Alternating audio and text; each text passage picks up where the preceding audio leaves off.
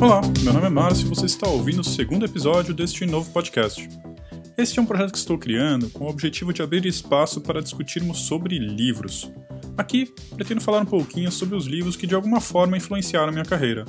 Neste episódio, escolhi falar sobre o Building Evolutionary Architectures. Então, bora começar?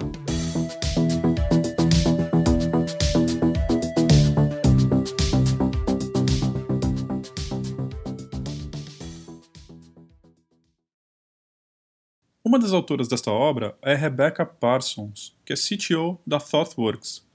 O livro também conta com Neil Ford como autor, além de Patrick Kua. Bom, já queria começar dizendo que este foi um dos melhores livros que li nos últimos tempos. Gostei muito das ideias propostas e vou tentar explicar um pouquinho aqui os motivos disso. Embora seja um livro curto, em torno de 160 páginas, traz algumas propostas muito interessantes e que me fizeram mudar a forma como planejo a arquitetura dos sistemas em que atuo. A principal novidade deste livro foi a utilização de fitness functions aplicadas à arquitetura de software. Este é um conceito que nasceu lá na computação evolucionária, que por sua vez foi inspirada na evolução biológica. As funções de fitness são usadas na computação bioinspirada com o objetivo de orientar as simulações para atingir soluções de design ideais. Através delas, o algoritmo é capaz de escolher as melhores soluções para atingir uma determinada meta. É muito utilizado em algoritmos genéticos, por exemplo, que por sua vez é uma técnica bastante usada para resolver problemas de otimização. Utilizando uma espécie de seleção natural, os algoritmos genéticos, com auxílio das fitness functions, vão se adaptando até encontrar uma solução próxima da ideal. Talvez essa conversa esteja ficando meio abstrata demais, né? Mas não se assusta não, esse conceito é usado mais como uma metáfora e o livro explica tudo isso com mais calma.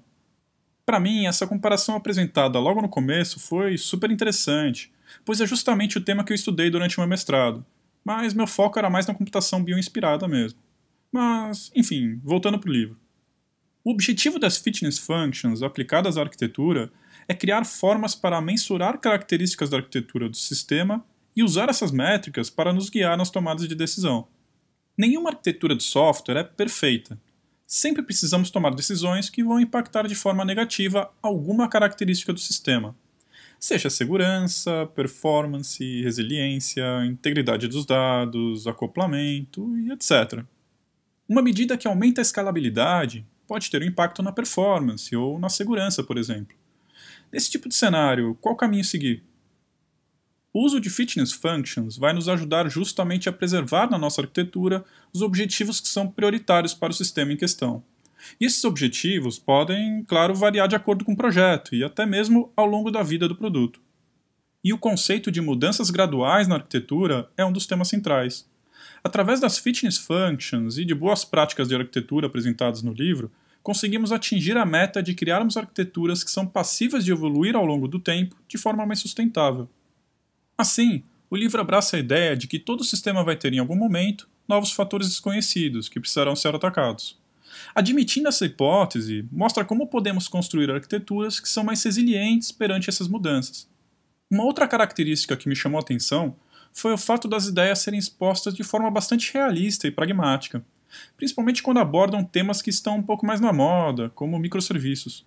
Mostra muito bem as vantagens, mas também as desvantagens de cada abordagem indica um caminho bastante interessante de como criar uma arquitetura que seja capaz de evoluir para se adaptar a qualquer cenário que venha aparecer ao longo do projeto. Bom, além disso tudo, o livro ainda aborda temas como a criação de camadas anticorrupção, arquitetura baseada em serviços, serverless, como trabalhar com migração evolutiva de dados, os principais modelos de arquitetura de software, entre vários outros tópicos interessantes. Mas claro, como o livro é curto, muitos desses temas não são apresentados de forma detalhada. Acredito que o objetivo principal é mostrar como juntar tudo isso de maneira a criar uma arquitetura evolucionária. Mas então, para quem eu recomendaria este livro? Bom, como eu disse lá no começo, esse é um excelente livro e acho que basicamente qualquer pessoa ligada à programação deveria ler. Mas não é voltado para pessoas muito iniciantes. Antes de ler, é importante que você já saiba, pelo menos de forma superficial, conceitos como o que é integração contínua, testes automatizados, microserviços e boas práticas de programação em geral. Então é isso aí. Este foi o segundo episódio desse podcast e espero que você tenha gostado. Se quiser, pode mandar sua opinião, crítica ou sugestão para mim através do e-mail marcio@segunda.tech. Beleza? Boa leitura para você e até o próximo livro.